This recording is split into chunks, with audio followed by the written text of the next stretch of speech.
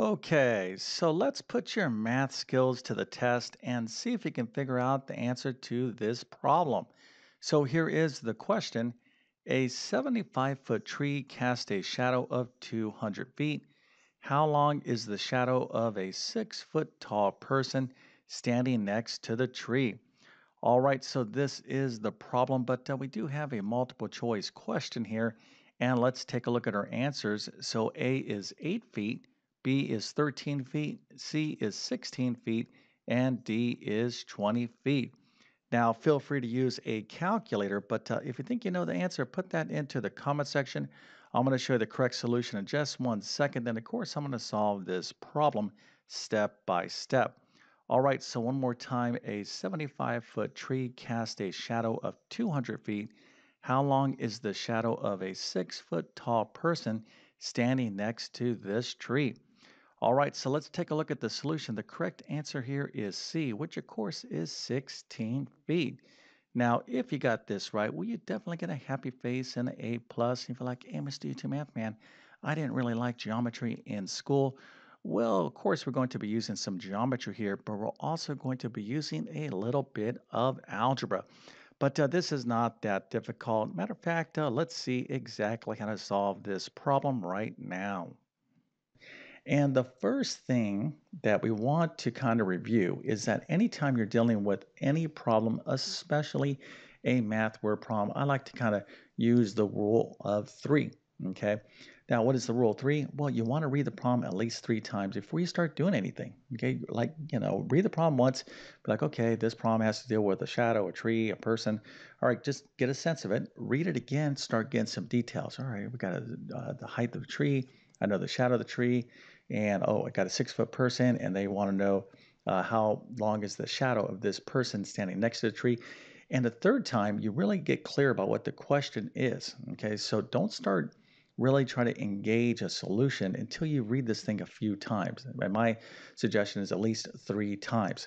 Now, when it comes to uh, math word problems, matter of fact, any problem, it's very, very helpful to visualize the problem. That's a little bit of a hint that I kind of um, said in the beginning of this video.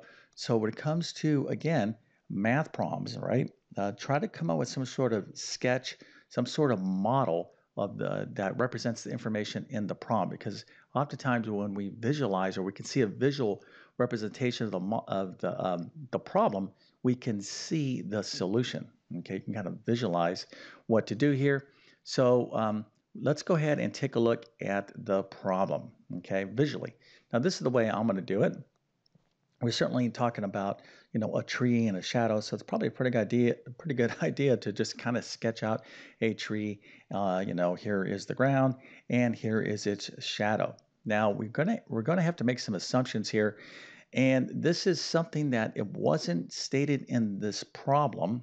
Okay, and it's something that you're going to have to interpret for those of you that are taking uh, any kind of math class, right? Because a lot of you can say, well, how do I know that this tree isn't going like this direction, right? Maybe the tree is bent, maybe a kind of storm came through, bent uh, the um, tree, maybe the ground's not perfectly level. Well, listen, when it comes to math problems, right, go ahead and make the assumption that, uh, yes, this tree will be perfectly straight and perpendicular. In other words, it's going to form a right angle to the ground. We have to kind of simplify the situation, right? And I think, um, you know, you can take liberty by just making those assumptions, uh, especially if you're taking, again, any sort of math course, unless the problem states otherwise. Okay, so here we have a tree, it's 75 foot tall, and our sun is way up here shining. It's a beautiful day, and uh, the sun is casting a shadow uh, like so, right? So the shadow of this tree is 200 feet. Now we do have this person here, but this is kind of a start, right? So let's go ahead and continue on and finish up our sketch. So here is the situation. We have this 75 foot tree. It's casting a shadow of 200 feet. And then I have this uh, person that's six foot tall standing right next to the tree and we're looking for their shadow. Okay, this is what we don't know.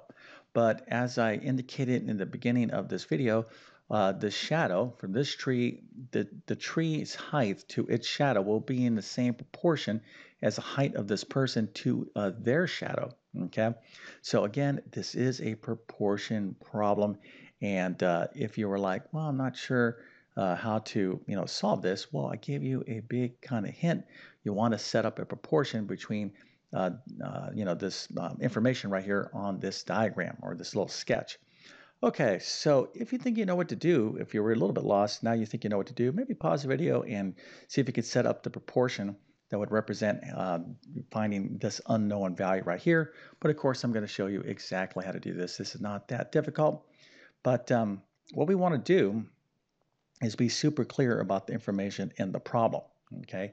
Again, we need to simplify. We need to uh, kind of uh, make some assumptions here that the tree is perpendicular to the ground. The ground's perfectly level, and this person is, you know, got like amazing posture, and we'll just represent them, you know, standing straight up and down, and their shadow is just like this, and so they're perpendicular to the ground as well. Okay, so here is essentially what we're looking for. We have six is to uh, we have six, which is the height of the person to their shadow, which is x. We don't know what this is. This is what we're looking for, but we do know the height of the tree to its shadow, we have the height of the person. We're looking for the how long their shadow is. Okay, and again, this information here, okay, will be in the same proportion because the sun is casting down its lovely rays, and whatever's standing, you know, pretty much right next to this tree is going to their shadow, if it's perpendicular to the ground, is going to be in proportion to other things that are perpendicular out there.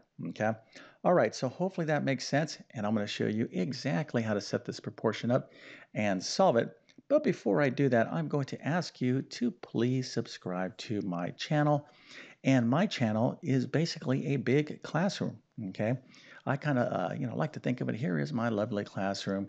And uh, here it is, here's the door. And, you know, I would get all these new students in my classroom. I would be all so excited. The only problem there was that I was limited, right? I was only me in this classroom, and I can only give so many students so much attention uh, at a time. But here on my YouTube channel, I look at it as my virtual classroom. I'm trying to reach people that are interested in either relearning math or learning math the first time or just like the topic or struggling in math.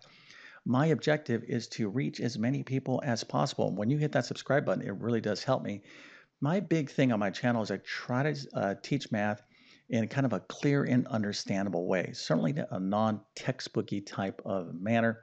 Uh, so by you doing that, it does help me out. Thank you so much. By the way, if you are new to my channel, you'll find 2,000 plus videos um, from basic math to advanced math uh, and everything in between. So if you're interested in geometry, trigonometry, uh, even some calculus, whatnot, uh, you'll find all that on my channel. Okay, back to the problem.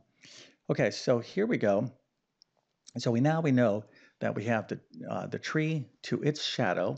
Okay, whatever the, the height of the tree is to the uh, the length of its shadow will be in the same proportion as the height of the person to the length of their shadow. So we can kind of think of this as the following. Okay, the height of whatever to its shadow is in this is, uh, the same proportion as the height of something else as its shadow. So in other words, right here, the tree, okay, uh, its height to its shadow is the same proportion as the person. Okay, so we want to set up a proportion, and a proportion is two equal fractions. And here is something very, very uh, important. Notice I have height to shadow, okay? The height to shadow, not uh, it, this fraction here. Well, let me just, I'm kind of stumbling here, bumbling here for a second. Let me just make sure you understand. A proportion is two equal fractions. So this is a fraction, it's equal to another fraction. You'll see this uh, more clearly in a second. But the point I'm trying to make here is that we want to set up um, uh, this uh, proportion, these two fractions, but the numerator and denominators, the units of measure, must be the same. In other words, if I'm going to compare the height to the shadow over here, and when I'm setting up a proportion, I have to have the height in the numerator and a shadow down here in the denominator. In other words, it can't be height to shadow and shadow to height. It's got to be height, height over shadow, height over shadow. Or you could have it shadow to height and shadow to height. You could set up that way as well, as long as the same uh, what you're measuring is in the same position. Okay, that's very important. And I bring it up because a lot of students, when they're setting up proportions, confuse this and then they get the problem wrong and then they're very sad and they're like, I should have listened to that guy on YouTube. I could have aced my test. All right, so if you understand, uh, you know, everything I'm saying here, then let's see if you can set up this proportion. And if you can set up this proportion, solving it is not that difficult. All right, so here we go. So we're going to set up this proportion. We're going to compare the height and shadow of the person, uh, the person to their shadow, to the tree to, to its shadow. And when we do that, we have 6 over x, okay, and that's going to be equal to 75 over 200. All right, so this is the proportion that we need to solve. And when we solve for x, we will have solved the problem. Okay, so let's go ahead and do that now.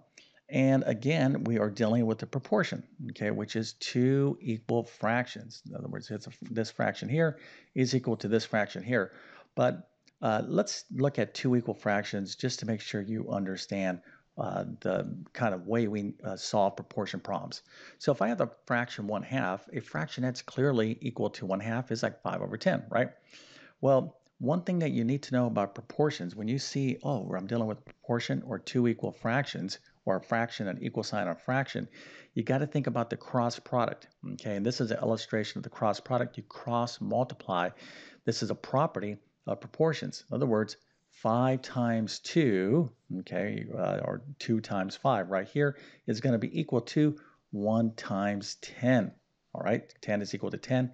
So the cross product is always true when you have a proportion, and that is how you solve proportions. Okay, so let's go and apply this knowledge now so we have 6 over x is equal to 75 over uh, 200. This is our proportion we need to solve. We're going to apply that cross product.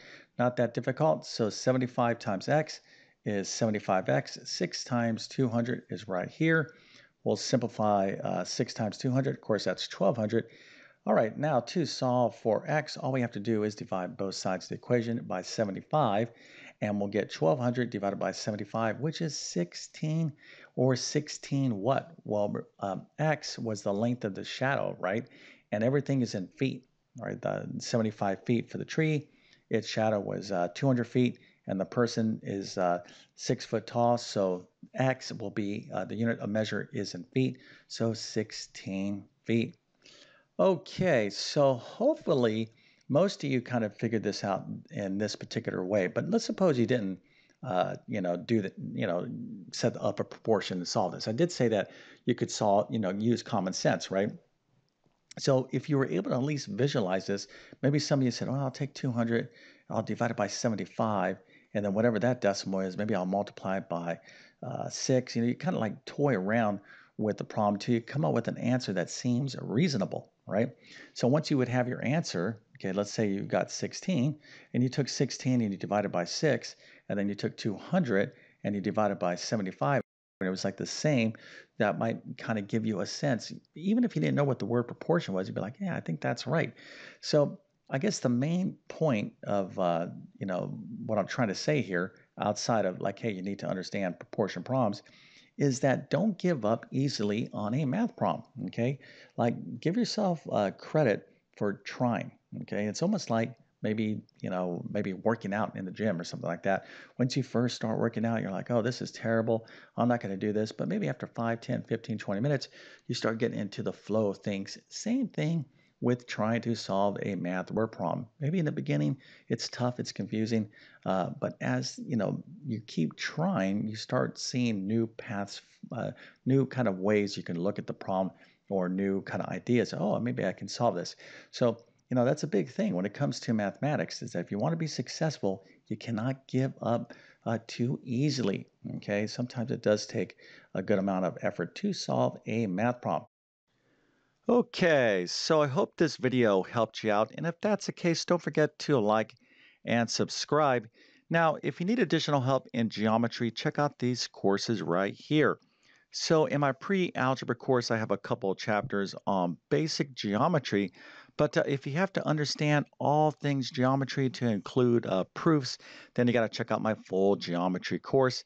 Now, if you want a good math review of basic math, algebra, and geometry, then check out my Math Skills Rebuilder course. All right, so I'm going to leave links to all these courses in the description of this video.